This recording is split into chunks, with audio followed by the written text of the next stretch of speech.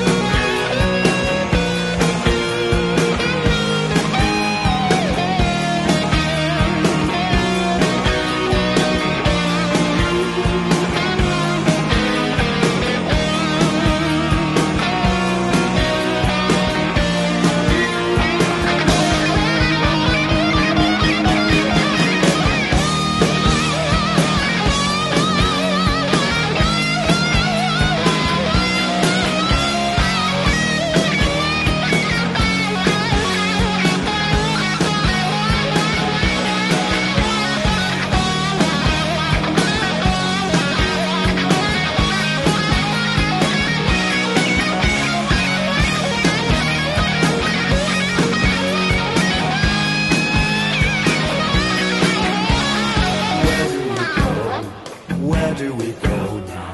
Where do we